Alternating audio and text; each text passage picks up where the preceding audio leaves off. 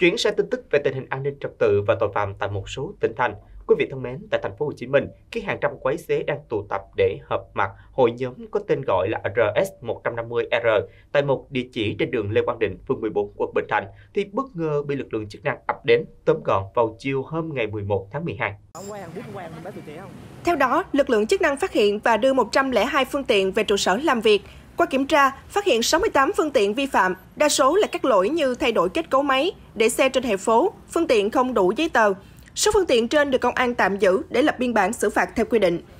Ngoài ra, công an cho biết trước đó các thanh niên này đã hẹn nhau trên mạng xã hội để tập trung ở địa điểm trên và người đứng ra tổ chức là một tiktoker nổi tiếng. Tất cả thành viên của hội nhóm trên sẽ được phát thư mời thông báo thời gian, địa điểm cụ thể. Cũng vẫn là tin tức tại thành phố